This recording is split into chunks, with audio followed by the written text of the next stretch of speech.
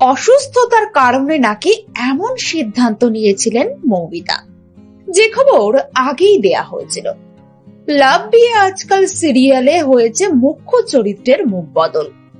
শ্রাবণ চরিত্রে মৌমিতা সরকার সরে গিয়ে এসেছেন টেলিভিশনের জনপ্রিয় নায়িকা ত্রিনা সাহা। জানে এই মুহূর্তে বিতর্কের শেষ নেই। মৌমিতা সরকারের অনুরাগীরা জানে বেশ অসন্তুষ্ট। কিন্তু একরকম বাধ্য হয়েই এই মেগা ধারাবাহিক থেকে সরে গেলেন নবাগতা এই নায়িকা।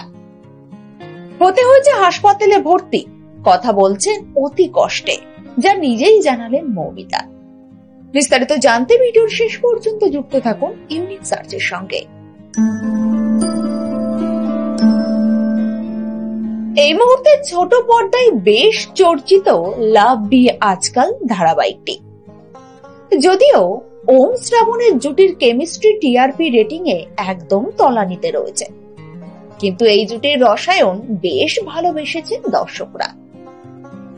ওম শ্রাবণের মধ্যে দূরত্ব বেশ খানিকটা কমেছে।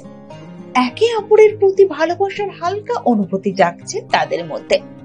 এই মুহূর্তে বেশ জমে উঠেছে গল্প। আর তার মাঝেই শ্রাবণ চরিত্র থেকে বিদায় নিলেন মৌমিতা সরকার। জানিয়ে উঠে আসছে একাধিক প্রশ্ন। টলি অভিনেত্রী ত্রিনা সাহাকে শ্রাবণের চরিত্রে দেখা গেলেও মৌমিতার অনুরাগীরা বেজায় ক্ষুব্ধ। অসুস্থতার কারণে নাকি এমন সিদ্ধান্ত নিয়েছেন মৌমিতা। সম্প্রতি এক সংবাদ মাধ্যমকে মৌমিতা সরকারের মা জানিয়েছেন, আমার মেয়ে বহুদিন ধরেই অসুস্থ, প্রায় বলতো মাথা ব্যথা। বেশ কয়েকবার ফ্লোরে অজ্ঞান হয়ে গিয়েছে। একদিন খুব বাড়াবাড়ি হয়েছিল বলে সেট থেকেই ওকে হাসপাতালে নিয়ে যাওয়া হয়। আসলে কাজের প্রচণ্ড চাপে ও অসুস্থ হয়ে পড়েছিল। ফ্লোরের সকলেই জানতো ওর অসুস্থতার কথা। তাই ওকে কিছুদিন বিশ্রামে থাকতে বলেছি।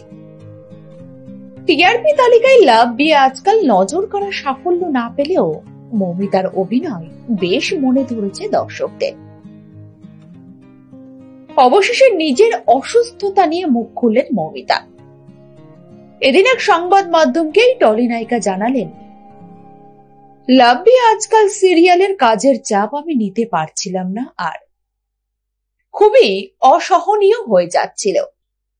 কাজ করতে করতে হঠাৎই আমার প্যানিক অ্যাটাক হয়। টানা ছদিন হাসপাতালে ভর্তি ছিলেন।